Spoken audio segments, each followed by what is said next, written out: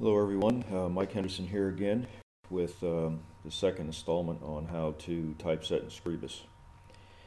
Now we left off here with our blank page and the next step we have to go through is to set up what Scribus calls master pages which is sort of a an individual page template.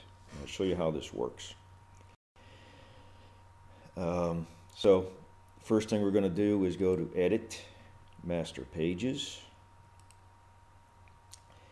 And this comes up, this uh, master edit master pages um, box, and normal left and normal right. These are default, and these we are going to need because this is a normal left page.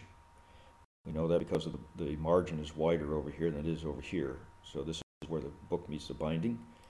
This is a normal right page. It's the opposite and they're blank. And we're going to want pages that, um, although have text, have no formatting, no header, no footer, no page numbers, and all of that. So to create a new one, it's quite easy. You go to this icon and it says, as you see, add a new page, a master page. Click, comes up. Give it a title. So uh, this is going to be a left-hand page. Uh, you see here it says left page. You have the option of choosing left or right. You must choose one or the other because it's a double-sided book. New master page, page 2. Well, that's not what I'm going to name it. I'm going to call it first uh, left page. And it's a left page. Okay. And there it is. This is our page.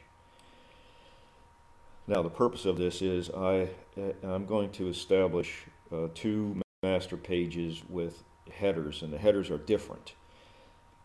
Um, this is where you, uh, I ran into all kinds of problems in word processors trying to figure out how to do different word, different headers and footers. There's a way to do it and all that, but and I succeeded. But this is very simple and it's intuitive actually. So the first thing we're going to do Scribus has you add text boxes, and that's what this little icon here. Select, and when you, know, when it's selected, then you get this thing. It tells you, it tells you where you are, so you can line things up. You you start where you want to start. Left click and drag, and put this however you want it maybe I'll make it a little bigger. And, you know, so it's it's like all such boxes or image boxes that you find around. I'm going to put some text in here. I can do it by double clicking and typing it in right here. Or I, am going to need to go to edit text anyway because you can't edit text from here. So you go to edit, edit text, and up comes the edit text dialog box.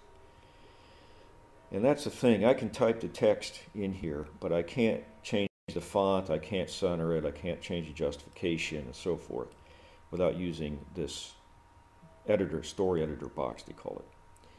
So um, I want my name there, so M-I-C-E.